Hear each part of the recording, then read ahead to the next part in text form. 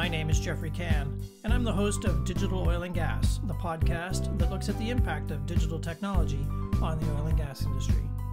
If you want to discuss this week's topic further, or just stay in touch, you can always reach me at Geoffrey Cann on Twitter or at geoffreycann.com. Welcome to this uh, podcast of Digital Oil and Gas. My name is Geoffrey Cannon. I'm joined today by a great friend of mine, Nav Dhunay, who is a, a tech entrepreneur here in Calgary. And a conversation today will be all about ecosystems and what they are. Nav, welcome. Thank you very much, Geoffrey. Looking forward to the discussion. yeah, so first, uh, so my uh, the audience might not know who you are and your background. So let's start with that. Like, wh- what do you do, and um, and, and what's your uh, what's your story? Sure. I guess from a, a, cliche perspective, I'm a serial entrepreneur. Mm. Um, I've started tech companies here in Calgary, um, four in the past, and and uh, working on my fifth one. And what I've uh, learned over the last little bit is Calgary's a fantastic place to start up companies. Mm. Uh, there's some challenges in, in, terms of starting start, starting up a high tech company here in Calgary, where we're heavily industrial focused. Mm. Uh, but certainly a great place to start up companies, and I've I've had a fantastic run of it myself. Yeah. What and what you can you share what your current venture is and what you're currently up to?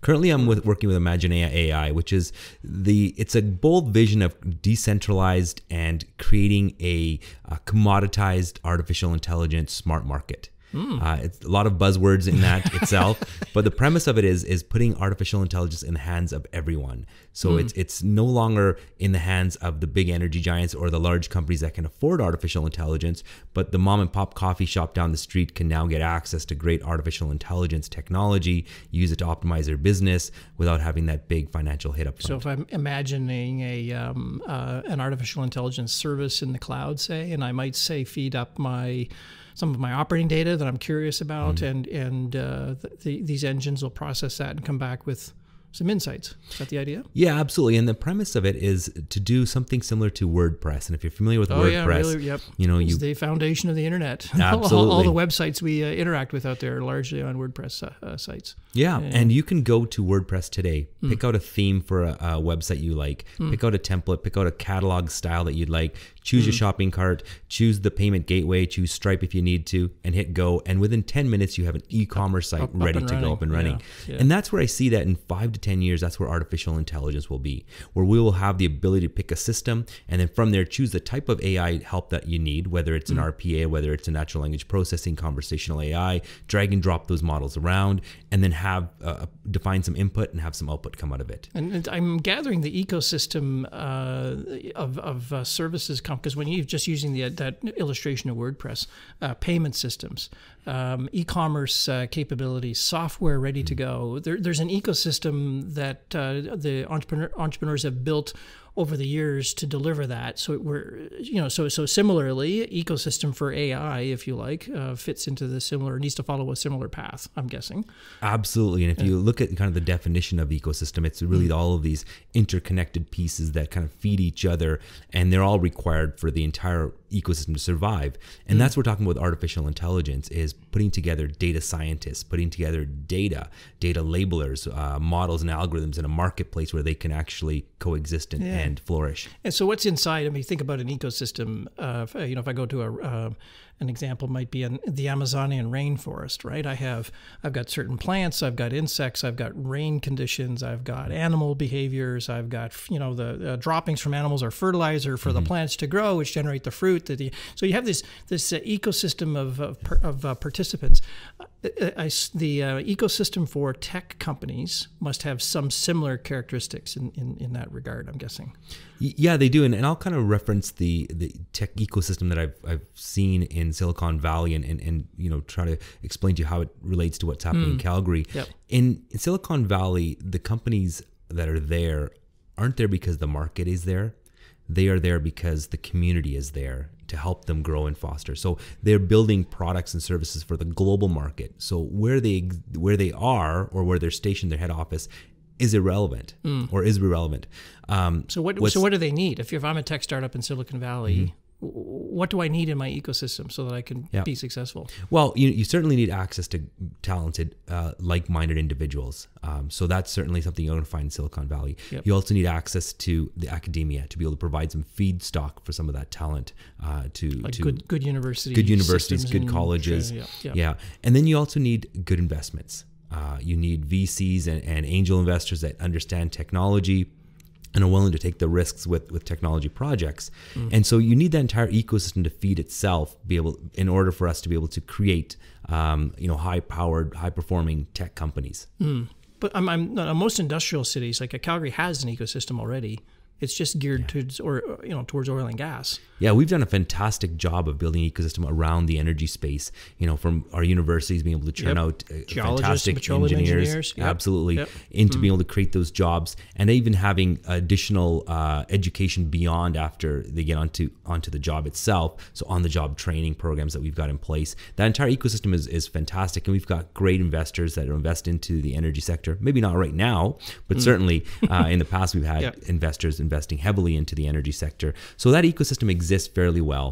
And you know we've got like-minded individuals, all very much focused on on continuing to enhance that industrial se- space. What we haven't done is is um, in the past is focused on creating a tech ecosystem where tech companies can thrive in Calgary. But but oil and gas is very technical. Mm-hmm.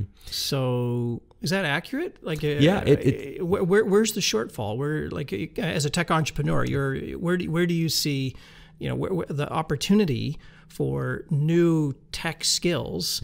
In a city that I, I, if you're an oil and gas guy, as I am, you'd argue the city's already pretty technical. So, Yeah. What, what, is, what is it that you see as the opening here for for fresh uh, fresh ways to think about the the industry and business? You know, I certainly think that the energy industry and oil and gas is, is heavy in tech, but it's a different type of tech. Uh, As we start to look at high tech, and, and what I consider high tech is this moving window that's on the edge of technology. And, and today, right now, in that window of high tech is things like artificial intelligence, virtual reality, augmented reality, blockchain, um, 3D printing, uh, that type of technology is in this window. Yeah, and they're not; these technologies are still really novel to oil and gas. That's right. They're But- very novel. So, but the industry is still pretty strong in things like um, big data and uh, complex data processing and visualization and so forth. The sub, whole subsurface interpretation world is a is a it should have would have to be a playground for smart data scientists and so forth. But uh, is that really is that true, or is Hmm. am I am I missing something? No, and in fact, that's some of the, the benefits in, uh, that we've got uh, that we can make available for tech companies here in Calgary. Is we have a wealth of data in the industrial side. Mm. Yes, true, That we yeah. can certainly figure out some complex problems from. We also have some very very talented engineers that Mm. have been looking at this data for a long time, and so we've got what I call data wranglers. Uh, not necessarily data scientists, but more data wranglers that understand, have deep domain knowledge on data science. So in a, in a cowboy city, a data wrangler. I'm imagining some some guy on horseback with that uh, his top is a is a ten gallon hat and a lasso, and he's he's he's chasing data sets around the company, trying to pull them into a into the corral. Is Yeah. that the right idea? Well, that's exactly what's been happening, right? Mm. Is is we have all of this great data uh, from industrial equipment out in the field, Yes. uh, whether some of it's internal or external, and then what we've been spending our time is trying to wrangle all this data together into into historians in the past. And now we're starting to look at data lakes uh, so we can actually start doing the analysis. So we're really good at that. We're really Mm. good at handling mass amounts of data. Uh, we've been doing that for years, um, and so now what I'm suggesting is that that on the data wrangling side, we've been fantastic. We need to build a core uh, um, competency around data science, which is starting to dig deep into that data itself and understanding what it means. And that's where I think the opportunity lies for Calgary. And and are there openings for uh, those? I mean, in your as you work with uh, organizations across the city landscape, are you seeing openings for those kinds of roles here? Absolutely, and and I would say that the the openings uh, considerably outweigh the actual um, number of individuals that are available to take those positions. We have a shortage of data scientists, not only in Calgary, in Canada, and even North America and, and globally. Um, and so we need to look at how do we bring data scientists to Calgary. Uh, we've got great problems to solve here, and it's not saying that you know that that's in a bad way, but they're great challenging problems in the energy industry, and we need to have some bright minds to do it. And we've got everything necessary to bring these data scientists here and keep them working here. So I'm a big fan of looking outside of our our backyard and saying, hey, can we actually recruit data scientists from other parts of the world? Other what other skill sets are you seeing uh, in in you know that, that you you are anticipating the, the ecosystem needs to be able to furnish uh, for us? You mentioned a couple of other technologies, blockchain being one, 3D yeah. printing being another. Are there other technology areas that are you see starting to blossom where there's real uh, real opportunity? Well, we're really seeing a blossom of, of uh, technologies like virtual reality and augmented reality here mm. in Calgary in the energy space. You know, there's some great companies doing some fantastic work on being able to model facilities in a virtual space where you can walk through the facility yeah. and see what decisions were yeah, wrong. Yeah, and oil and gas infrastructure is not unique in that regard, but very often the facilities are so massive you can't really get mm. your head around them um, easily and uh, so to vi- visualize them, if you like, virtually through lens, you know, through a cloud or through a, a virtual reality headset, um, actually is a big plus. So there should be demand for that sort of thing. There is a demand, and, and those skills are, are fairly transferable. If you look at virtual reality and being able to, you know, visualize a large facility, mm. you could take that skill of, of understanding how to build virtual reality models and taking that into other other industries. Like a, a, a real close tangent is into real estate, uh, building mm, office towers, office up, yeah. you know, a building or transit systems, yeah, yeah, or even taking it to the consumer and saying, hey, how would you like to visualize your house before it's built to make sure that this house you want. Mm. Um, so there's lots of tangents when it comes to VR and even AR. Uh, and so when we talk about having all this wealth of data, this is phenomenal because it's a playground zone for people that are techies. Mm. You know, you're going to get here and you're going to have this big smile on your face because all of this data, all this un- data, untapped, data, untapped really. data, and you yeah. start to dive into some of this high technology really quickly. So if I'm a small oil and gas company, as an example, uh, I might say, I, mean, I look at my resource mix at the moment and my ability to, to stand up new, new teams and projects, and I might I might conclude that this is beyond my reach. Is that is that accurate? Is that a fair uh, portrayal of, of this this uh, this whole wave of digital?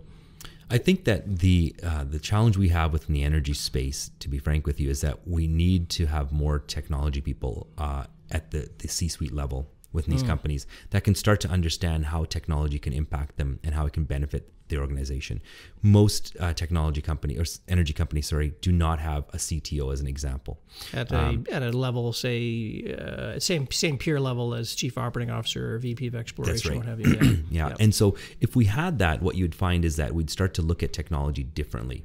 Mm. Uh, we would not just look at it as an enabler of, of things, but we would look at it as a real change agent uh, to changing how, how we operate, how our business models work. Mm. Um, and we don't have that today. There are certain companies that I've seen that are starting to lean towards having a technology, senior technology person at the board level and that can help provide some oversight.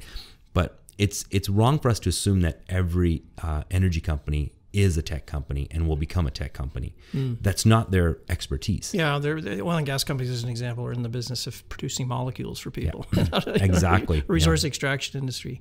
And if I if I'm imagining if I'm down in Silicon Valley and I'm thinking about the ecosystem down there, and, I, am a company and I'm looking for a, a, a chief technology officer, for example, could I turn to the ecosystem as a um, a backstop or maybe a place to source that kind of know-how. And if that's the case, then it, the ecosystem is also a place to find people, talent, and resources to solve certain kind of role challenges that you might find. Is that yeah. is that how Silicon Valley would view this? Absolutely, and even potentially a place to incubate ideas. Mm. Now, mind, mind you, we do have a, a, a good depth of, of, tech talent here on the energy side of things. But you know, there's no reason why we can't tap into some of the resources that are in Silicon Valley or in other parts of Canada as well, and start to use them to incubate ideas. I think that the challenge that we have in the energy space right now around uh, ideation is that we've we've typically been fairly risk adverse when it comes to throwing out new ideas and testing them and understanding that we're probably going to fail on 99% of them um, and then mm. looking for that 1% that hasn't been in our dna in the past yeah and well, i think we need to shift that well, that's a fair challenge actually. Oil and gas infrastructure is not i wouldn't say it's unique in this regard but um, the way you think about oil and gas is typically at scale. And uh, you also uh, typically view oil and gas infrastructure as permanent yeah. And uh, digital is actually not yet at scale. When you start trialing something in a digital world, innovation world, usually trying that really small, so that if it if it doesn't work, you can abandon it at low risk, and yeah. little regret capital. Oil and gas doesn't have that as a standard mindset. Right. The mindset's actually I have to make it perfect out of the gate. Yeah. It's going to be big to to make the payoff. And uh, so we're kind of at cross purposes here. I think maybe one of the roles of the ecosystem is to help oil and gas companies think differently mm-hmm. about how to trial and innovate things that break through some of these like pattern ways of thinking about how to do things in the industry. Yeah, and I think tech companies can help with that. Mm. You hmm. know, as I said, I don't think oil and gas companies necessarily need to become tech companies, but if they're partnering with tech companies that yeah. have that in their DNA, yeah. where they're all around experimentation and they operate like a, a room full of scientists, then rather than a room full of engineers, you could tap into that and get a different, different, yeah, yeah. So it really is about being part of the ecosystem. It's not so you and I've been talking about this. This isn't about a the development of a separate standalone technical ecosystem world in a Calgary. This is a, uh, a question of an ecosystem that oil and gas in, companies should equally participate in because they can be pulling some of those good ideas back into the oil and gas world. Absolutely, I don't think it's it's a separate ecosystem by any means. Yeah. You know, I, I know that uh, that uh, you know within Calgary Economic Development, they've really been uh, focusing on putting tech together with sectors. So they're talking about energy tech and clean ag, tech and ag tech and so yeah. forth. And I think that's a great mindset. I still want to uh, caution us not to get too far into that and, and limit anybody who's coming in here with just a, a tech mindset only, mm. uh, because there's no reason why we couldn't have the next Shopify built here in Calgary. There's no reason why we couldn't have the next Salesforce built here. And those kinds of technologies go cross sector. Mm. So we should be open to creating that type of ecosystem as well. But at the same time, uh, you know, we should be fostering a high tech that is collaborative with the energy industry. Any any so as we near the end of this podcast, any parting thoughts about uh, you know if you if you if you were meeting with an executive, um, say in an oil and gas company today, and and they were asking you, what should I be doing? I hear about ecosystems. I, am part of one, but it's oil and gas based. What, what would your advice be to them in and around the tech uh, tech ecosystem development here in the city? You know, I think the first thing I would just tell them is, is is get outside of the shell, get outside of your box, get outside of the comfort zone. Go and attend some of these types of meetups that are happening in the high tech space. We've got some great blockchain meetups. We've got some yep, great AI meetups. Ones, yeah. We've got some product management meetings. We have VR, virtual reality meetups as well. Get into these spaces to see what's actually being done. And I've always found if you're just staying at your desk, you're going to get stupid. So get out outside of your desk, get out there and see what's happening in the community. There's lots of great tech already in Calgary. Figure out how you plug your energy company into one into of these that, into tech that ecosystem. Yeah, yeah, that's great. Yeah. Nav, thanks so much. It's been a real pleasure. Uh, so uh, tune in again next week for another episode of uh, Digital Oil and Gas. My name is Geoffrey Cann. Thanks, Geoffrey. Bye for now.